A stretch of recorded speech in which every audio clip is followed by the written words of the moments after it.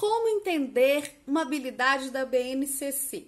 Eu vejo muitos professores que às vezes têm dúvidas, têm dificuldades em entender o que, que a habilidade está me pedindo, como é que eu vou trabalhar aquela habilidade, o que, que eu tenho que trabalhar aqui.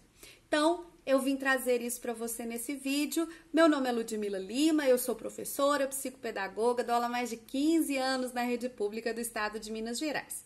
Se você deseja um conteúdo mais prático, né? Atividades relacionadas às habilidades. Eu vou deixar para você aqui, ó, na descrição desse vídeo, o link do nosso curso de alfabetização. Lá, para cada habilidade de alfabetização da BNCC, a gente tem atividades lúdicas e atividades escritas também, tá? Para cada uma delas.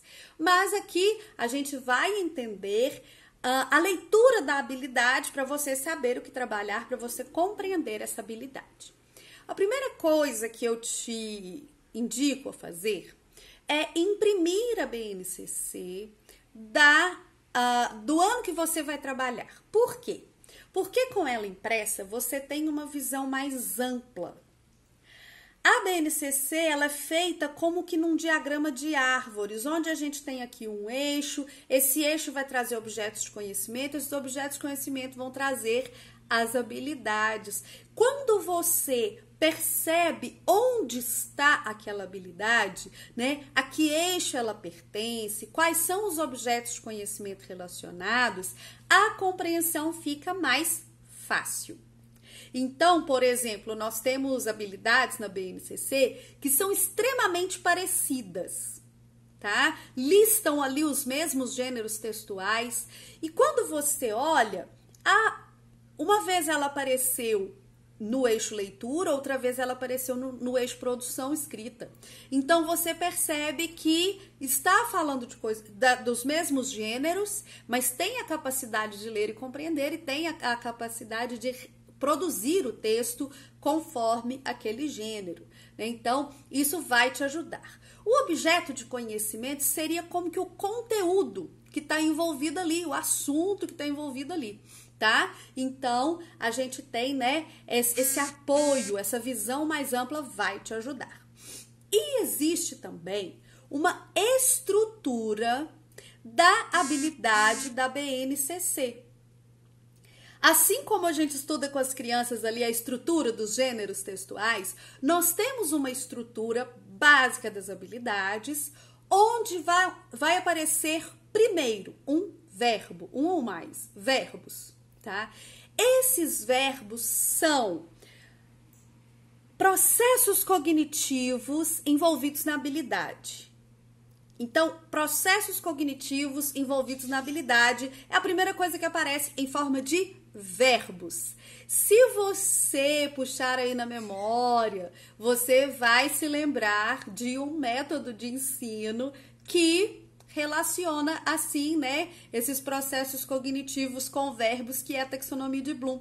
Mas mesmo que você não se lembre, a gente vai entender por aqui, tá bom? Começamos com o verbo. Por exemplo, uma habilidade aqui, olha, uh, é F de ensino fundamental, 12, que é primeiro e segundo ano, língua portuguesa 08, que é uma habilidade que está no eixo de leitura e escuta e que está relacionada à compreensão em leitura. Então, o objeto de conhecimento é compreensão em leitura. E ele vem assim: ler e compreender em colaboração com os colegas e com a ajuda do professor.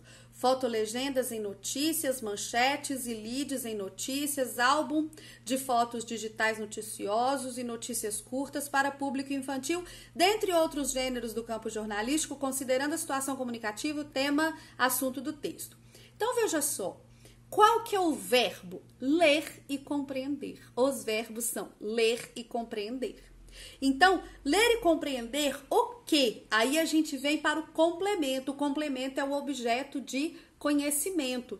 Esse objeto de conhecimento aqui, quais que são os objetos de conhecimento? São textos jornalísticos, né? Vou repetir, olha, ler e compreender Ler e compreender em colaboração com os colegas e a ajuda do professor. Fotolegendas em notícias, manchetes, leads, álbuns. Então, textos jornalísticos. Alguns textos jornalísticos que eu vou conseguir trabalhar aqui com a minha criança de primeiro e segundo ano. E em seguida vem o contexto e a especificação. Então, Uh, a gente diz, olha, textos jornalísticos considera uh, infantis, considerando a situação comunicativa, o tema e o assunto do texto. Aqui a gente faz um, um modificador desse complemento, né? A gente vai deixar mais específico o que é que a criança tem que saber, o que que a gente vai observar nesse momento aqui para que a criança compreenda o que está lendo.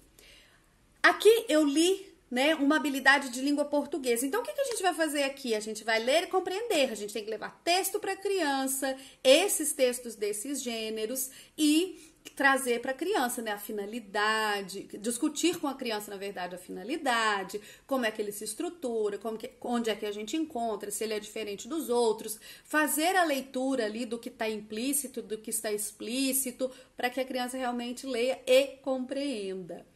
Aqui a gente fez a leitura de uma habilidade de língua portuguesa, mas em todos os componentes curriculares, português, matemática, geografia, história, ciência, em todos a gente vai ter a mesma estrutura: o verbo, o complemento e o modificador do verbo. Se você tiver dúvida sobre uma habilidade específica, deixa ela para mim nos comentários que eu posso fazer um vídeo com sugestões de atividades para você realizar com a sua criança.